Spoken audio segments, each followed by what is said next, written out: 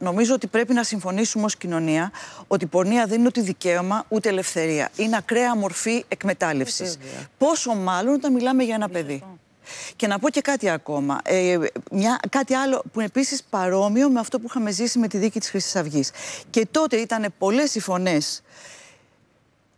Κυρίως από την ε, τότε κυβέρνηση της Νέας Δημοκρατίας που έλεγαν ότι δεν πρέπει να έχουμε άποψη για το ποια πρέπει να είναι η απόφαση του δικαστηρίου.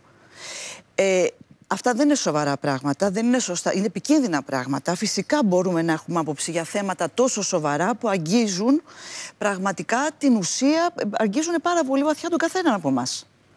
Και σαν πολίτη και σαν άνθρωπο. Η υποψία του κόσμου, η δυσαρέσκεια του κόσμου έχει να κάνει με τον τρόπο που απονέμεται η δικαιοσύνη. Όχι ότι δεν έχουν εμπιστοσύνη σε αυτό που λέμε όλοι στις δημοκρατίες το τελευταίο καταφύγιο του πολίτη, στη δικαιοσύνη ως θεσμό, αλλά υπάρχουν εκφάνσεις της απονομής της δικαιοσύνης, η αργή δικαιοσύνη, η δικαιοσύνη που ενδεχομένως ε, κάνει τα στραβά μάτια, η δικαιοσύνη που επειδή αργεί τελικά ε, εκπίπτει. Δεν είναι ε, μόνο αυτό, θα μου επιτρέψετε. Και άλλα πράγματα. Δεν είναι μόνο ναι. αυτό. Είναι και το θεσμικό πλαίσιο μέσα στο οποίο λειτουργεί η δικαιοσύνη, αλλά και οι υπόλοιπες εξουσίες.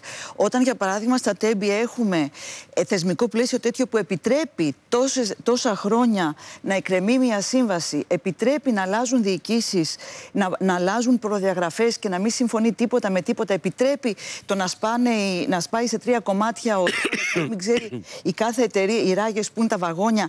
Αυτά είναι του θεσμικού πλαισίου προβλήματα, τα οποία καλείται, με, έρχεται μετά η δικαιοσύνη με τα δικά της θέματα να ε, ερμηνεύσει.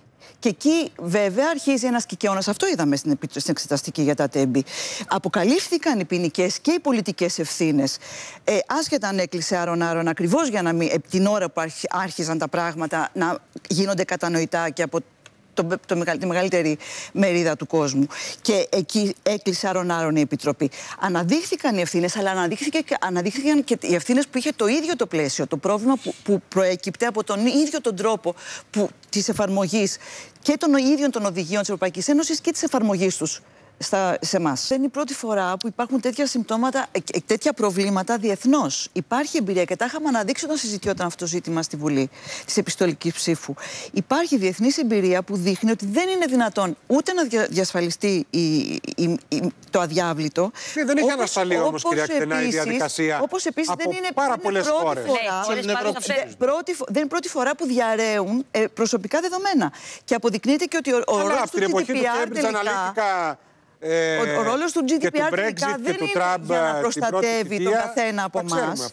Αλλά ίσα ίσα διευκολύνει στι εκλογέ μας έρχονται σε εκλογές βουλευτικές. Κυρία Κτενά. Εγώ θα έλεγα ότι το μεγάλο νέο των ημερών δεν είναι αυτό. Ούτε τα πλάνα που παίζουμε το παρουσιάστηκε ο κ. Κασελάκης ε, στο στρατό.